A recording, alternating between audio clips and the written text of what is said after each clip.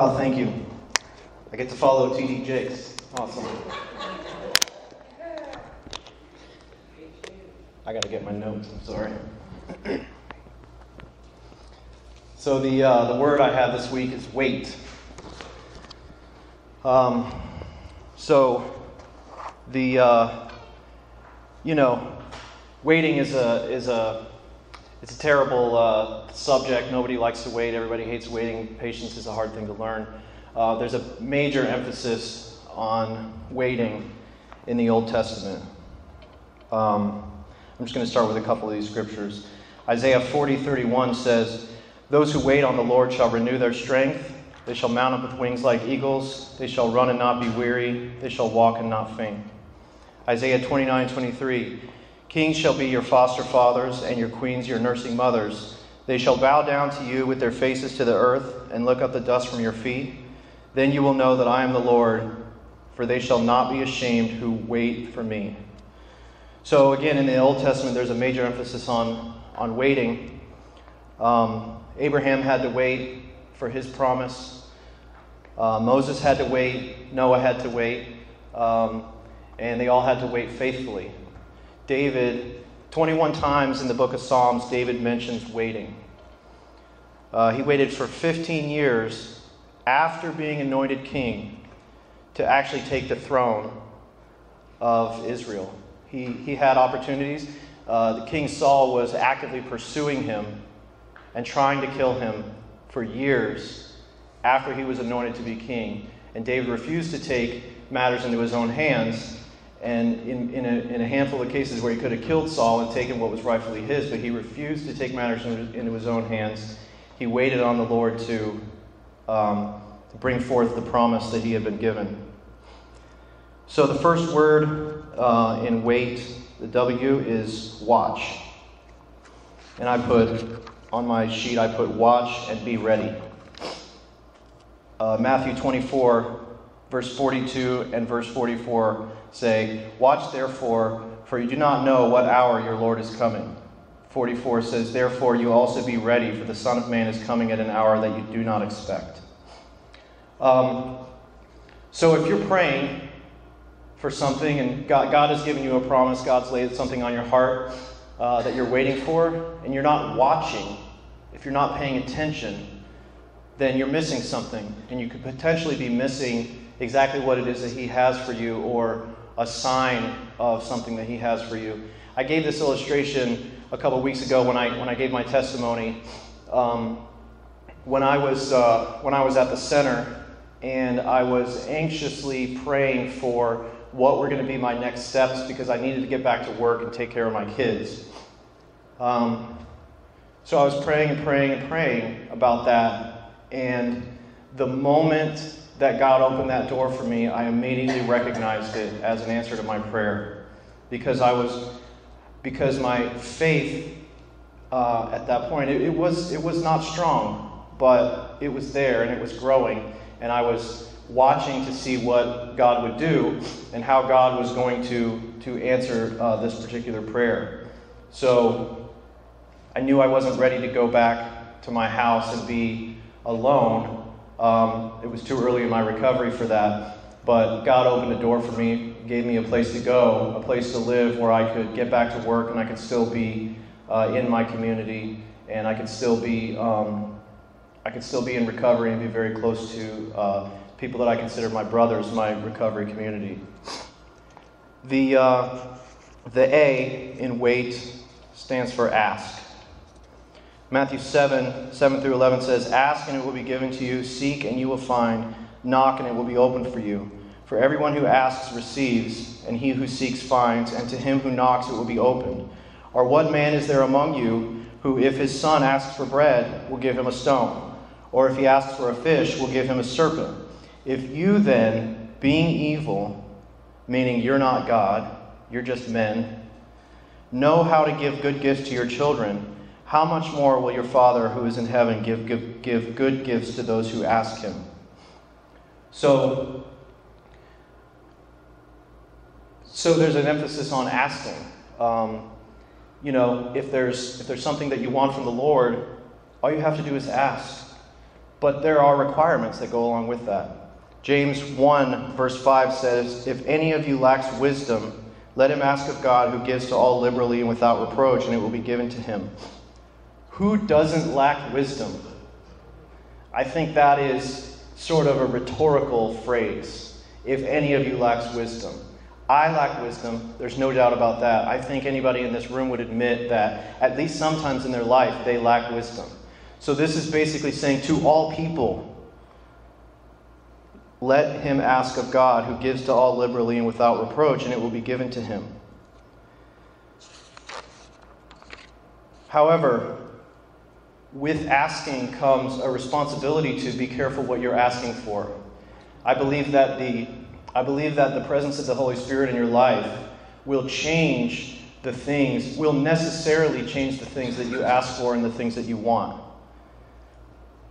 When your will aligns with the will of the Father, and you begin asking for things that are according to His will, powerful things will happen.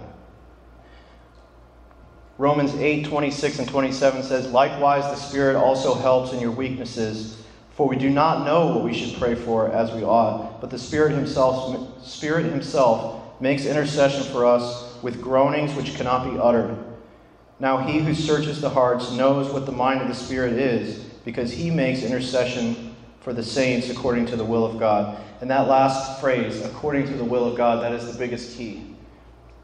I believe that when you when you allow yourself to be broken and you allow yourself to be desperate enough to seek a relationship with God and, and allow Him to change your life, when you submit your will to His, and you begin praying and asking for things that are in His will, you'll receive.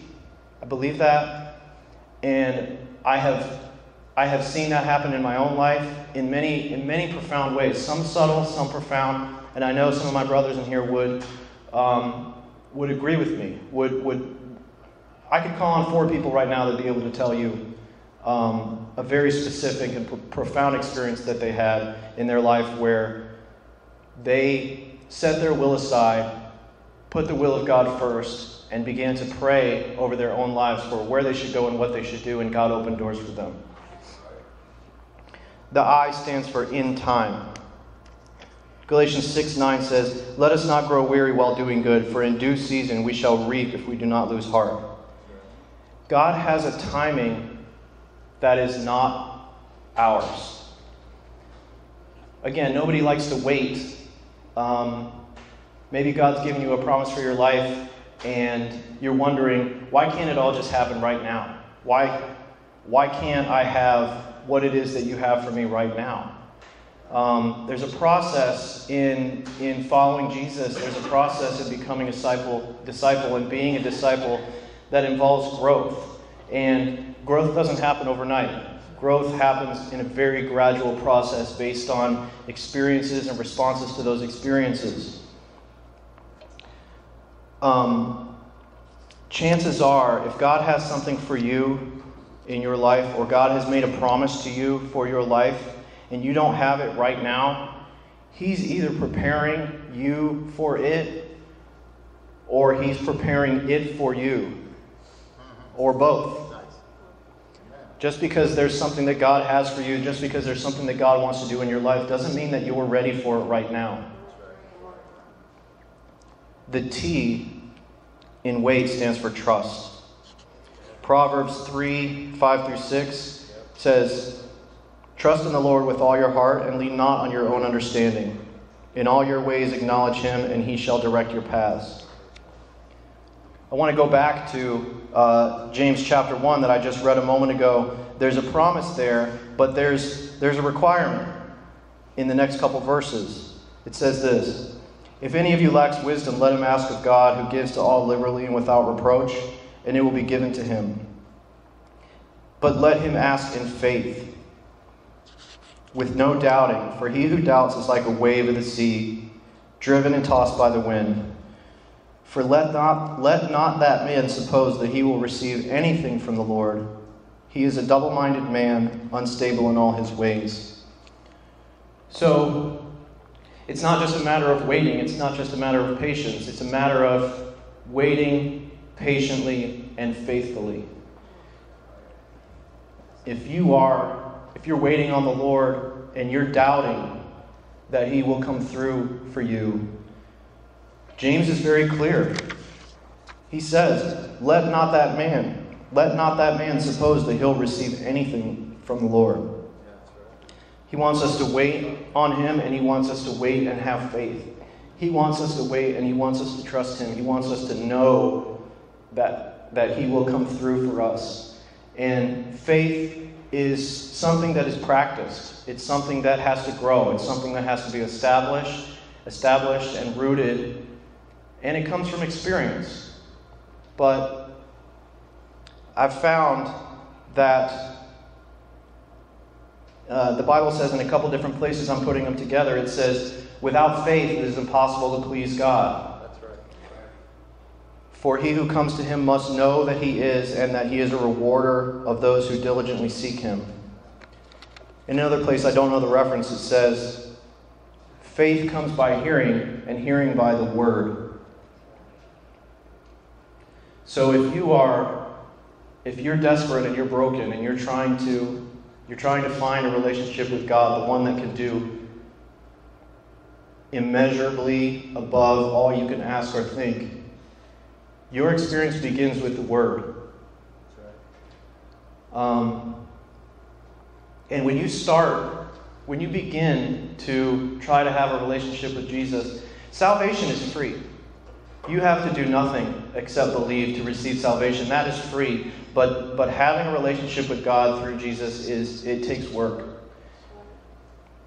You have to read and you have to pray. And, and when it doesn't feel like it's working, you have to read and you have to pray some more and you have to have faith that He's going to change you and that He's going to change your circumstances and that, and that He's going to come through. He's going to come through for you. So don't give up. Keep working, keep praying, keep reading, don't give up. And if my experience, if my, if my experience and many of the other men and women in this room, if their experience has, has any uh, bearing on the situation, He will come through for you. Thanks for listening.